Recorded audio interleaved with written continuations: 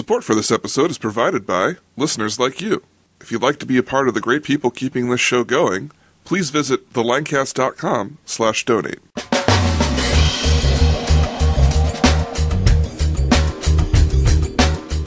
Welcome to the Lancast. I'm David Moulton. And I'm Keith Slesser.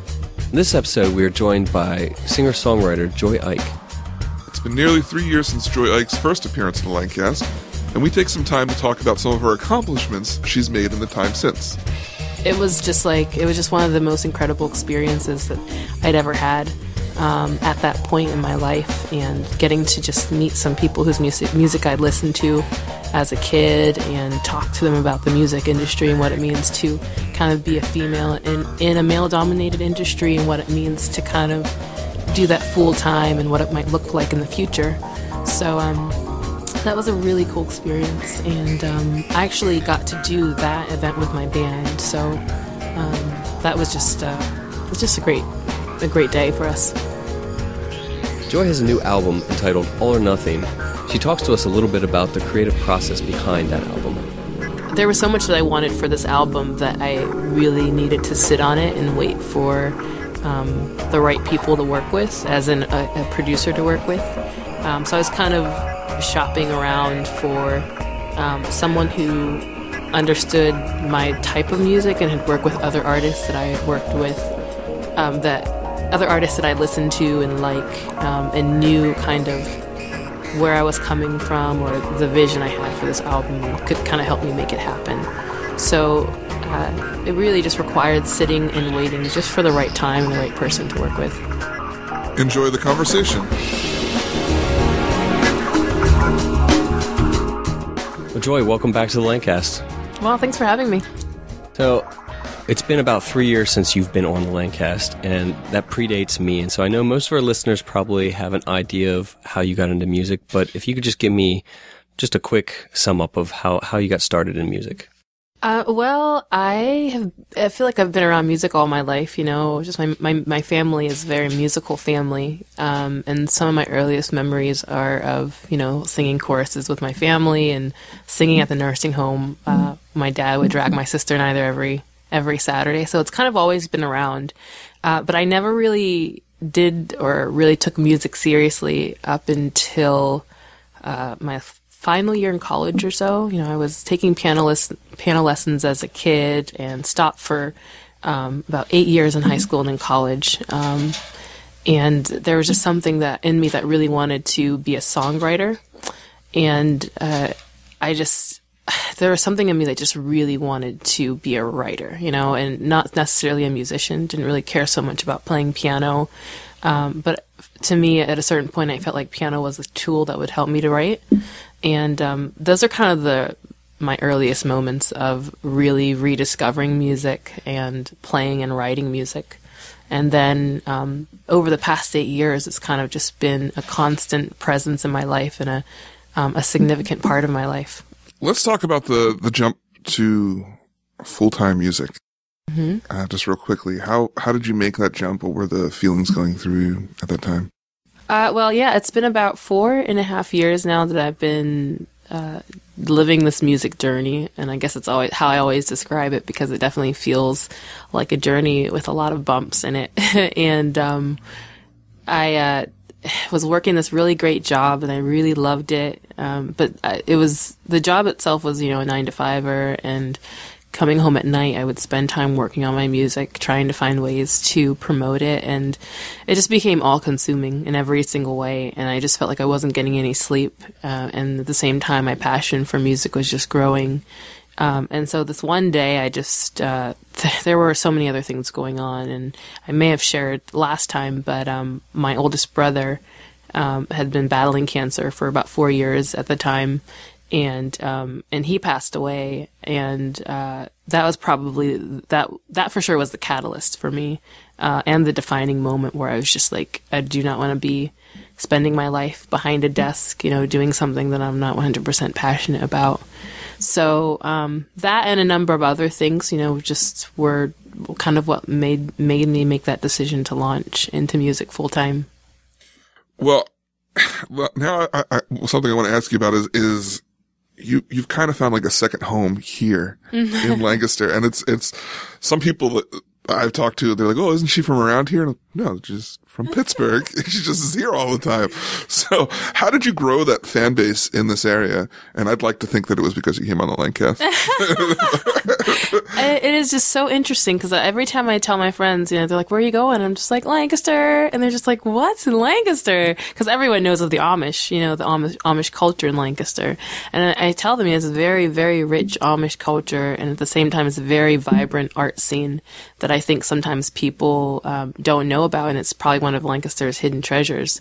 Um, and so the first time I came to Lancaster was with three other friends. We were were four of us were doing um, a ten day tour. We were mostly doing it uh, through the Northeast. Um, and I came to Lancaster with um, a good friend Hiram Ring, and uh, from that point on, like that was my first exposure to Lancaster, and I fell in love. I just fell in love with the city, and so I tried to come back as often as possible. And the second time I came back was the launch conference at the convention center, and that's when I met you guys and came on and did the show. But um, like Lancaster for me just hasn't lost its charm at all, and um, after having come coming have, having come back so much, you know, I've gotten a chance to just connect with people and meet some really cool quality people, and um, and I think that's definitely the reason why I'm always back. So, since the last time you've been on the show, apparently there has been um, some media uh, accomplishments for you. You've you've you've made it onto some TV shows and um, some morning shows, and and even uh, you played the venue, the World Cafe. Where how did you get about doing these these shows or these these interviews? Uh, well, each time I hit the road, or I should say in advance to hitting the road, um, my goal is and my hope is to be able to um, reach a new audience. You know, not to not to be continually playing for the same people, but um, try and always grow um, grow my fan base and be able to play for new ears. Um, so before heading out into a new city or heading out to a city that I've been to over and over again, always trying to find um, new media opportunities to kind of help shine a light on the shows that are kind of are on the you know on the verge of happening. Um, so I just uh, I think the one of the job that I was working earlier was as a publicist, um, and I just love publicity and I love marketing and PR and all those things. So one of the things that I, I geek out about is whenever I'm going to a new city, finding um, new radio shows, television shows, podcasts, um, you know, publications to to email and be like, "Hey, why don't you have me on your show? I'm pretty cool." but and sometimes it works, sometimes it doesn't. Do you, do you word it exactly like that? Um, Just like is that. that. Is that how you, that what you did to David when we got here? You got, Pretty much. kind of cool. I'm kind of cool. I've been on the show. Kind of cool is better than the lame we normally. Well, we're kind of lame, so kind of cool might be good for us. So, um, let's go for it. We can take her word for it. We've never heard her before. But hilarious. No, yeah. So it's it's always fun to be like, okay, who's gonna get back to me? Who's not gonna get back to me? Sometimes it's exciting and sometimes it's discouraging. But uh, so you just kind of go out there and just sort of like you figure the attitude of you know doesn't hurt to ask, yeah, definitely. I mean, the worst thing that they can do is say no. You know, Right. and that's and then that's you're the just where you are. It, It doesn't yeah, really change your position anywhere. So True. Yeah. so, um, I, I write this like this marketing blog, this music marketing blog called grassrootsy.com. And, um, that was a shameless plug, by the way. we can edit that out. Grassrootsy what? What? We- Dot we- com? yeah, I we, love it. we, can- we can edit that out unless unless she's going to pay advertising. we, can- we can work something out. We'll, we'll talk about We'll that. figure it on That's out. show. funny. Yeah. But yeah, so like I always have artists ask, email me. I have this segment called Ask Grassrootsy, and they're just like, "How do you do this? How do you do that?" And I'm just like, "You just do it, you know. If you want to ask, if you want to play this venue, just email them and be like, "Can I play your venue?" You know. Um, and the worst they can say is, "No, you can't," you know, or you got to wait a couple more years until you have a strong enough draw, or you know, whatever. But um, I think the the greatest advantage uh, an artist has is just like their audacity to like dare to ask, you know, the questions that some people just aren't aren't like uh, bold enough to ask. So So along those lines, one of the things that I always talk about behind the scenes with Keith is I'm like, man, musicians are so pushy. Mm-hmm. Like, if, That's like, so funny. I'm like, if we wanted, we could just do a music podcast. It's like, ah. those are the people that are constantly coming out and just being like, oh, and it's, it's just like, get something behind you before you talk ah. to me, you know? So, okay. How do you, well, we've, you have a following now, but when you were, when you were getting going, how did you fluff up yourself enough to, uh, make an impression? You know? People ask that ask me that a lot, and um, aside from me telling artists that you just need to be bold enough to ask, um, the second thing I tell people is that you need to you need to f- frame and craft your words in a way that people actually want to read them, and you can't send a pitch letter. Like I'll get emails for grassrootsy and people like, "Will you write about my music?" And I'm just like, "No, I will not," because first of all, you didn't send me a link to your website. Second of all, you didn't give me a short bio, but you wrote this whole page that I don't want to read because I don't really know anything about you yet. You know, I want something short and sweet that's kind of like a teaser so that I want to know more. But I think sometimes artists just don't know how to pitch themselves well. And I'm not definitely not going to get on a soapbox. I might have to actually stop there. but, but um, I just tell uh, people, it's just like, you just really got to find a way to craft your words well and um, not ask like you deserve it. You know, ask like um, almost like you're um, putting yourself in a humble position because nobody owes you anything. You know, you have to work to get to where you are, and I think that that's that's um, probably one of the most beautiful things about pursuing whatever it is that you're pursuing in life. You know, it's it's sweet when you get there, um, but it does take a lot of work. I just I was talking with this guy who's in band, uh, or he, I think he works for a record company, like a smaller record company, and it, people are, bands are constantly sending him CDs. And he said the the one pitch that he got was the greatest pitch ever. Never had any, didn't have any words, didn't have anything written. It was a CD with a photograph of the band bowing down to a pile of Pabst Blue Ribbon beers. And he said he said it was so hilarious. He opened the CD, popped it right in the player. Ah. See, and it was unique. You know, it was Right, yeah, different. yeah, so- so. I heard this quote somewhere. Was like, you can either be really good, and there are a lot of really good people, but not a lot of really good people, or you can be really bad, which sometimes that's to your advantage, like, you know, Gangnam Style. I just watched the video for the first time yesterday. What? How did Yeah. you avoid that? I don't know, but then I saw another video of a baby dancing to the to that song, and so I was like, okay, cool. Now I know I have some like context. but so yeah, you can either be really good or really bad, or you can be different, and I think that's like one of the greatest advantages you can have. Wow. I just saw Gangnam Style.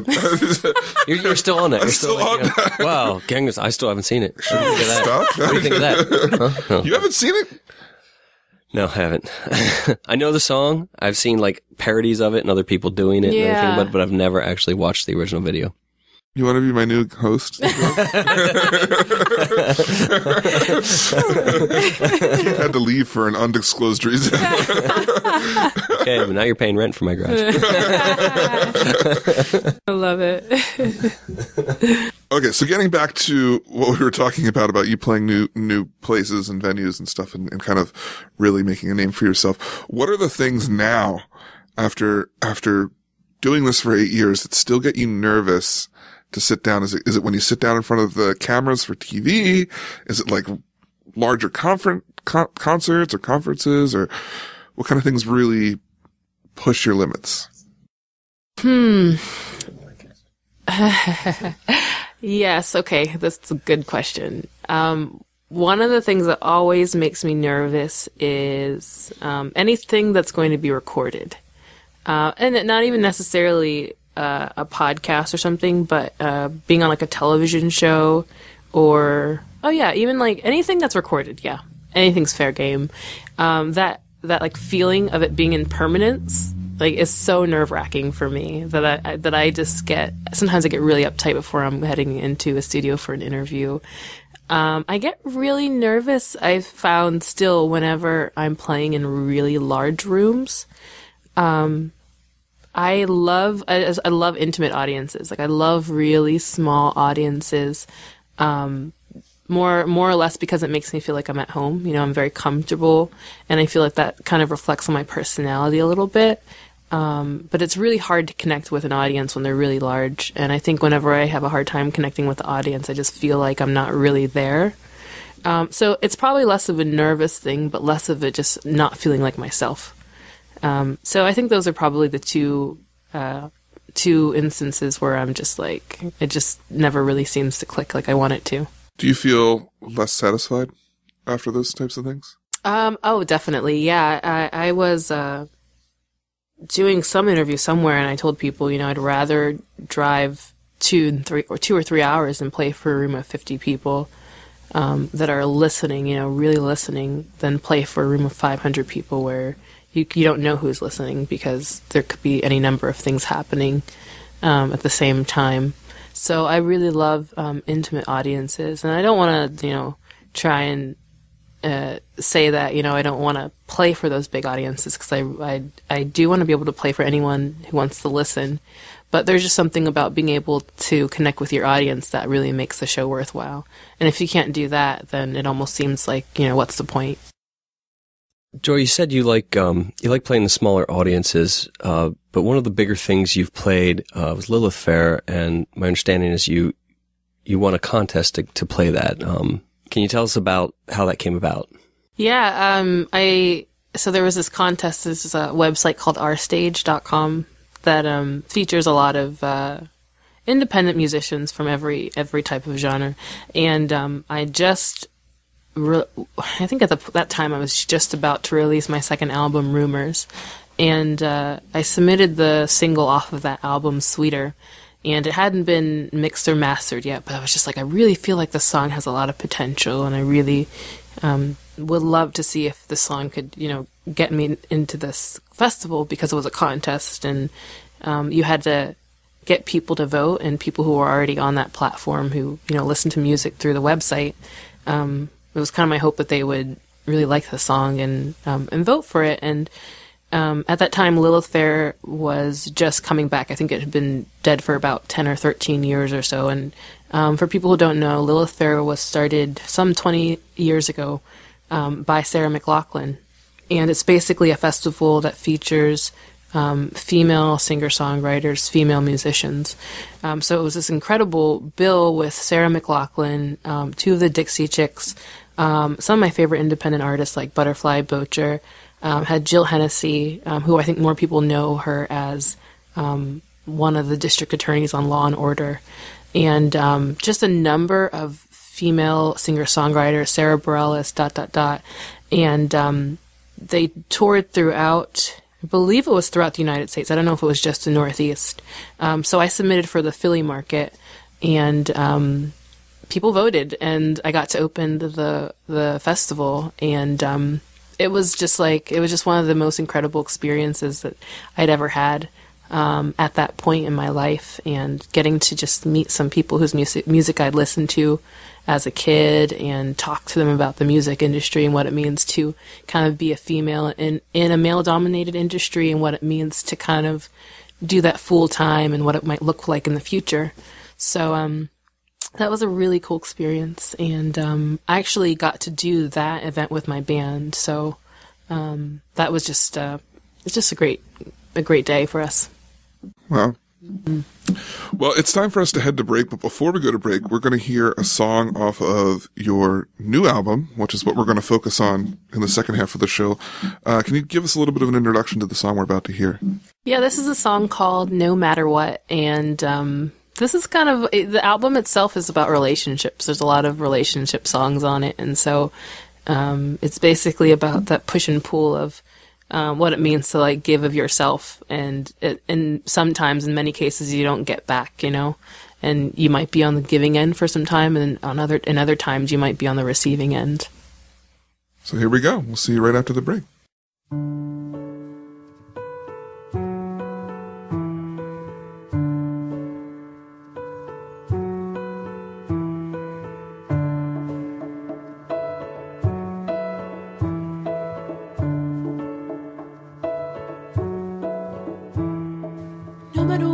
you say. I'm gonna love you anyway. You know you just come and go. People are starting to think that I'm shallow But you need someone To love you like I do.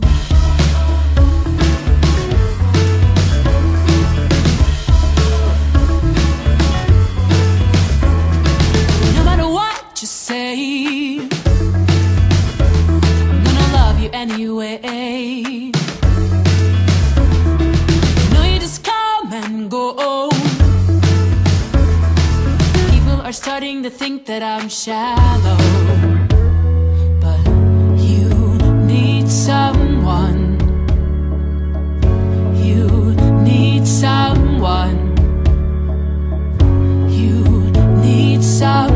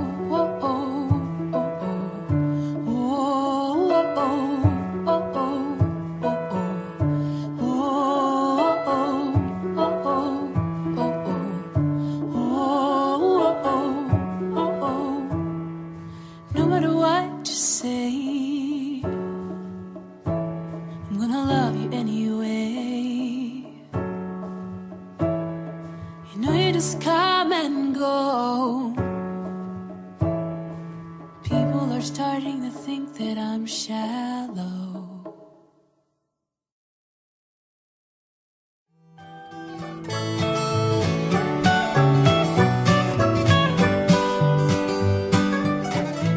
Whoa, David, what have you got there? Uh, a pina colada? No, not the drink. Oh, this. Yeah, I've been meaning to tell you about this. We just got our shipment of 3x10 bumper stickers in. Oh, sweet. Now I can put one on my car and pick up chicks. Uh, Keith, you're married. Whoa, it's working already. Well, if you want a Chick Magnet Lancast bumper sticker like Keith, they're free. Just email us at bumpersticker at thelancast.com. Hey, Keith, get back here with the box of stickers. I need one for my car.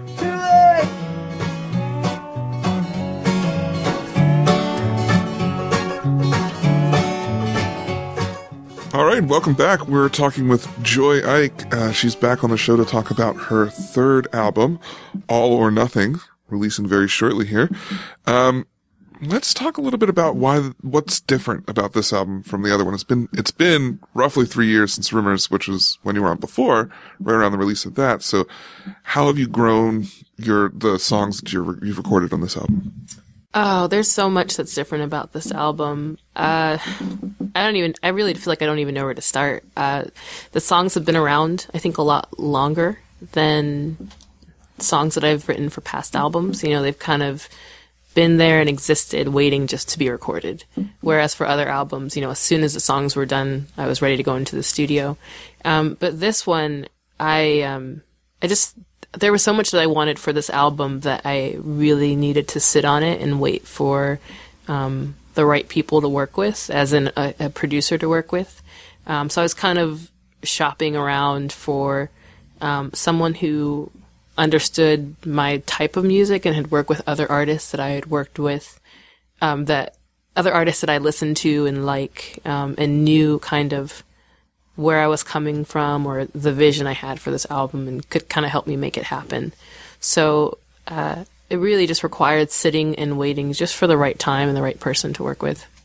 So let's let's talk about band wise. Did you add things in that you hadn't thought of before? I think uh, for rumors, didn't you go to churches to record like special pianos or something for that? Hmm.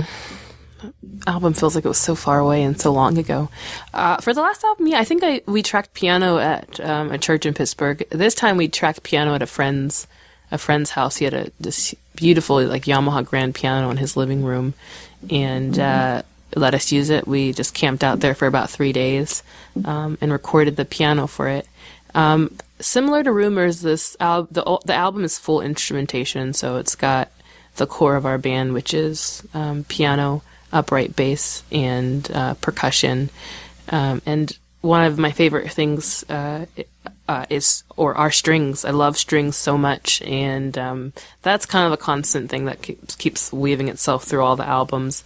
Um, but there's something about this album, I think, not just the songwriting and not just the um, the music and the arrangements, but the instrumentation is just so much fuller and so uh, so much more lush that I feel like um, every aspect of the album has kind of come together to make it what it is and to make it strong and just a really strong piece of art that I'm just really proud of.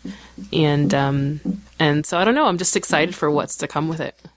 When you when you write a song with the with the full band, um, do you have a picture in your mind of how you want the the whole song to pan out and sound, or do you kind of show the band this is the song I wrote and let them kind of add their parts to it? Um, it's definitely a little bit of both. Um, usually I'll write a song, um, most likely on the piano, and I'll start to hear things. Um, and most times I really don't know what it's going to ultimately be, but um, I always hear drums all the time. Like I already have an idea of what's happening with the drums, and at the same time, uh, the guys I'm working with, um, Jason Rafalak on upright bass and Ryan Socrates on uh, percussion. I think we've just been playing together uh, now for a while that we kind of get an idea of what what do these songs look what's the personality of these songs as a whole? You know what's this what's quote unquote joy style? And so what can we lend to it to make it sound like it is joy style but to still make it its own unique song? So um, it's a little bit of both you know? Everyone kind of puts their heads together to see what happens. Well, when when constructing something like that with a full band, is there a part of you that thinks, "What do I have to do so I don't lose the ability to perform this the way I want by myself?" Um, well, the songs, I always write the songs on my own. Like I always, and sometimes that can be a couple weeks. Sometimes it'll like take a couple months to write a song, um, and I'll just let it sit until I feel like it's a good standalone song.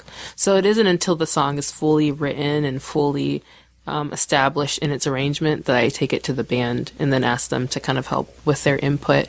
And then every once in a while it'll change in its shape a little bit.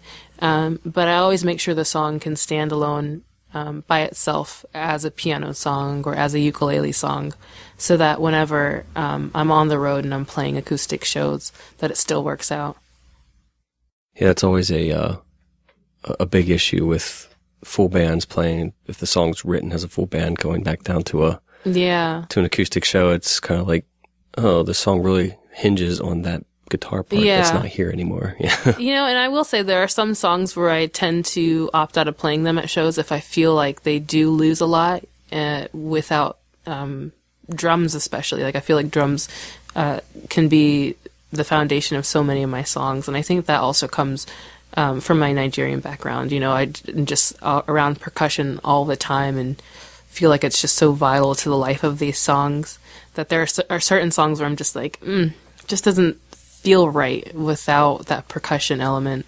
So, um, yeah, I think it just depends. Depends on the setting. It could even depend on how comfortable I am with the audience, you know, to give it a try solo. Well, earlier in the first half, you mentioned that uh, this album was very much about relationships. So, give me an idea of like what kind of journey, listening from beginning to end, this this album takes you through. Like, what kind of relationship patterns or feelings? Oh, that's a hard question. um, well, the album, oh, where to start and where to end. So the album is called All or Nothing, and um, my sister and I were like, we were listening to these songs, and we were just like, what is like, what's the common theme, um, and what could we possibly name the album to kind of like sum it up, you know? That would actually, if people listen to the album, they could be like, yeah, that does make sense that she called it All or Nothing. And there was this like running theme through a lot of the songs about what it means to like give your all, And no matter what you're doing, whether it's relationships or what it is you do for a living or just in living life to the fullest. So that theme kind of runs itself through so many songs. Um, and I think there, there are just a number of songs about, um, loving and loving wholeheartedly and giving everything you have um, whenever you don't have anything more to give. Um, and then on the on the flip side, there are songs about you know what's it mean just to be honest and lay it all on the line because you have nothing else to lose at that point, you know. So there are these like there's these very there are these very like um to me they I feel like they're just these heart wrenching songs about being honest, you know, about a relationship, um, because because you can, you know, not because it's easy, but because you can and you should be, and um, and for me sometimes i mean they always say that whatever you do whatever your art is it's kind of your therapy. It's kind of the way you you avoid having to go and sit on that couch you know in the psycho- psychiatrist's office so for me it's like my outlet you know and and that was kind of my way of venting i think to a certain extent so some people sit in their cars and and talk to themselves as if they're arguing with a person and i just write songs yeah And noticed the the is there a specific you the order you put these in? Do they have a specific uh, mindset you're taking to people if they listen to the album? I'm just reading the names and it has like the fall song and right after that, pick me up and, and don't ever dine and home. It just kind of uh, I don't know by by title it looks like you're kind of like going a direction. I don't know if you intentional do that or if the song's even. No, it really the songs kind of took their order based on the energy of the songs. Um, so it is kind of a roller coaster. There's there are a couple really huge songs to start off, and then there's one that kind of just tone it down and kind of help people reflect um, on the theme of the album, and then it kicks back up again. And the last two songs are just like the most. I call those like the night songs. Like you listen to them when you're taking a long drive at night versus in the morning when you wake up and you need like a pick me up. So One of the things that I, I, I enjoy about your music is that, um, being a faith-based person, there is faith-based things in your music, but it's not necessarily, doesn't really necessarily fit that genre. I would say, I mean, like you don't have, it's not pigeonholed. Uh, it's relatable to kind of everyone. It, it, would you find that same theme has been carried over to the new album? I, I know with, um, the, one of the tracks that you've created a video for, like it, God seems more prominent within the lyrics than, um, than other songs. Yeah, yeah. Um, it's definitely a theme that's carried over into this new album and is kind of in all all preceding albums.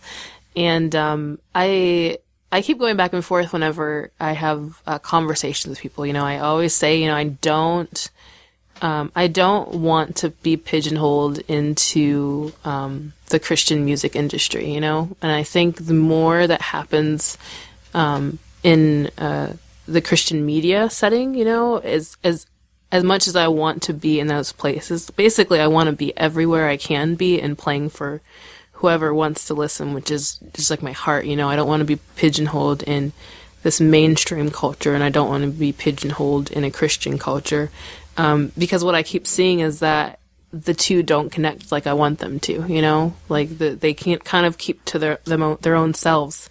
Um, and that's something that really breaks my heart because I just feel like the church has so much to offer the culture, um, and that the church has a lot to learn from the culture, you know?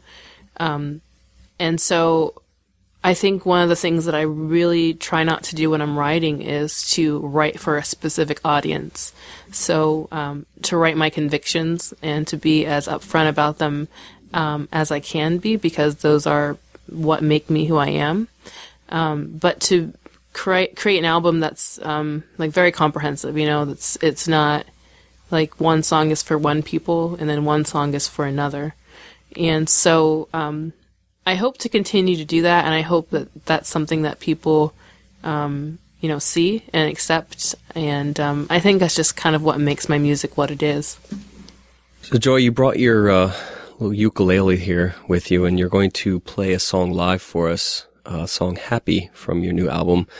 Could you tell us, uh, introduce that song to us a little bit before you play it? Yeah, um, so I wrote this song in 2011, and I just uh, just come home from being on the road for like three months. Um, on and off over that that three months I was in and out and on the road. And I got home and I was just so I was so done and so over music. Like I was just like I can't do this anymore, and it's not fun. I don't enjoy it, um, and it's just depleting me of like all the life and energy that I have.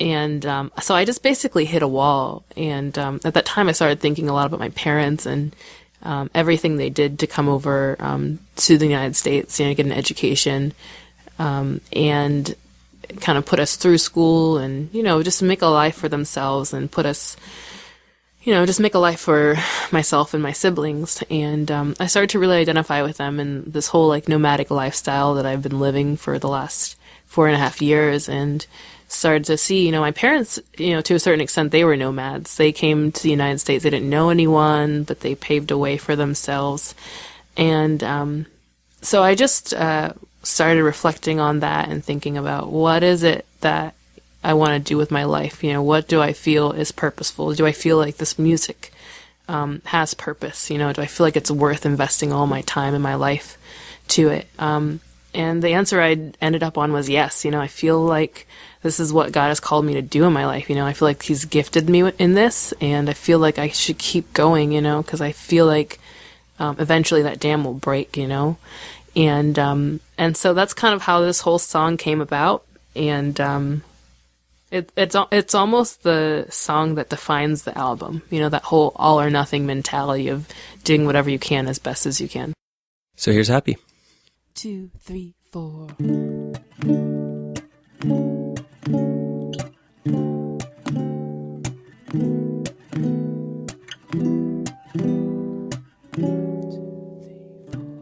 Finally had some time to sit around and settle down and think about my life. I must admit I don't know what comes next, what to expect, but wanna get it right. I just wanna be happy, happy with me. Oh, oh, oh, oh, oh, oh, oh, oh.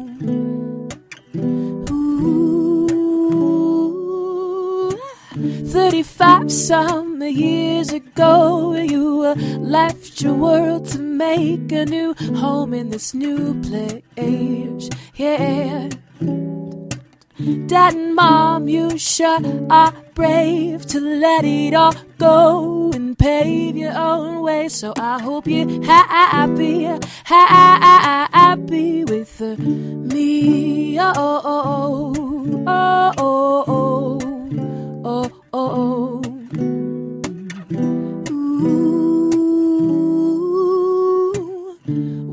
Gone and my life is done and I've spent my love and sung my last song, I wanna be eulogy like. She was sweet and she was strong and she never marched to anybody else's drum. And I, I, I hope that they will say that she walked like Jesus and she talked like Jesus and she lived like Jesus and she loved like Jesus and I made him happy, happy. I made him happy. I made him happy. I made him happy, happy. Two, three, with me. Oh, oh, oh, oh, oh, oh, oh, oh.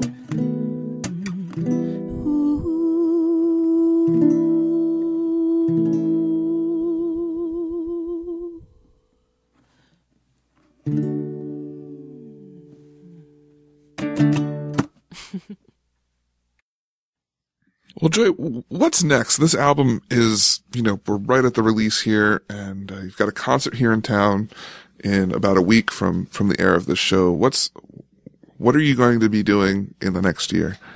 Uh, well, in the next year, uh, I have a publicist that I've been working with, and um, our primary job has been to um, get the album out to as many media outlets as possible, um, to um, put it in front of new people, you know, new ears that uh, wouldn't hear it otherwise. Um, my goal primarily is um, to be booking more universities. Um, I just feel like students. I've I've had a great time connecting with students over the last several years. Um, to be playing more for um, students, to be playing really anywhere, anywhere and everywhere. And we're working on uh, music licensing as well. So working on getting the songs in different uh, mediums, um, television shows, different things like that. Um, but the goal has always just been to get it in, in front of as many ears as possible. Um, and so my hope is that by the end of the year there will be some um, new traction, you know, and I, I hope to look back on 2013 and be like, wow, you know, we've come so far with um, all the work we've put in, you know, with this album, both in the studio and touring it. And what about the upcoming concert here? Let's uh, get a little information on that in case anybody wants to check you out, a new album. Yeah. Um, so myself and my band will be here on Sunday, March 3rd, and we're going to be playing at the YWCA. Um, and Nick Francis and Benjamin Bachman of Mosaic helped to put the show together, so they're going to be helping to uh, make it happen. And we're just really excited to be uh, playing for the Lancaster audience, and WJTL has been really supportive and has been playing the music on the air for the last couple weeks or so. But um, I've just done so much uh, solo and duo acoustic traveling that it's just really exciting to be able to do a couple days on the road with my band and to bring them uh, the full sound that they'll hear on the album.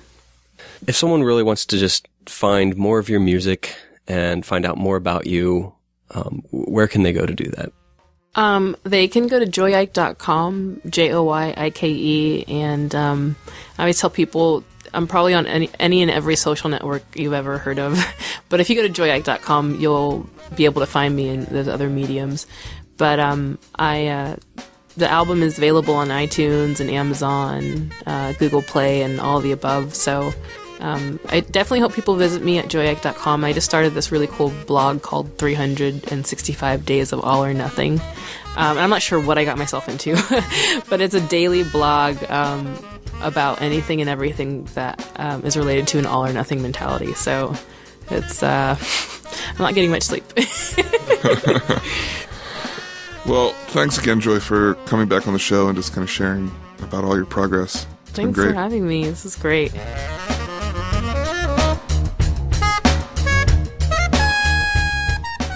We hope you've been enjoying the Lancast. This episode was produced by myself, David Moulton, with show notes by Keith and Lawrence Lesser. All pertinent links to this episode can be found in the show notes at thelancast.com. If you specifically liked this episode, we ask that you consider making a donation. Every little bit helps. Even a dollar a show can keep us going. If you'd like to help support us, you can do so by going to thelancast.com slash donate. And don't forget to subscribe in iTunes and tell a friend about the show. So for the Lancast, I'm David Moulton, And I'm Keith Slesser. asking, are you in the cast?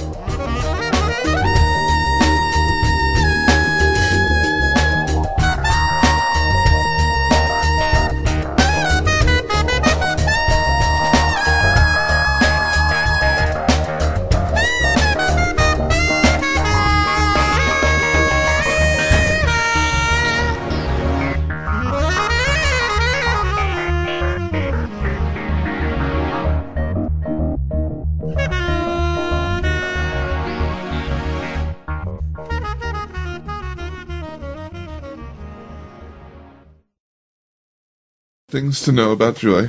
She apparently breathes hummingbirds into life. She actually, her, right? her mouth is actually is a hummingbird. Yeah, well, that's what they created what in the shape, this mold. Yeah. She puts food in there, and out And comes out the, comes the hummingbird. the hummingbird. Wow, as you can see here, Yeah, that's pretty. she releases them to the wild. But then over here, she also like she also- drops hearts like all over the place. when when she cuts her thumb, hearts actually come out. Yeah. It's not blood. Life- life- life blood. blood comes out of her. yeah, exactly. Amazing. So that's what I've learned from this album. wow. Cool. So, how many of these songs are dedicated to me? All but one. What?